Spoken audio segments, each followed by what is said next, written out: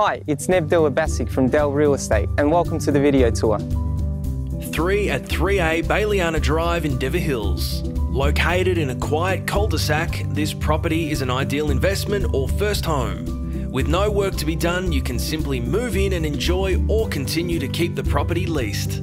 Offering a good sized living area with internal access from the single lock-up garage, separate kitchen and meals area with plenty of bench and cupboard space, and a large 900mm stainless steel gas stove and range hood. Ground floor powder room, tiles through living and kitchen meals area, split system heating and cooling unit, and an easily maintained rear courtyard with Colorbond fencing.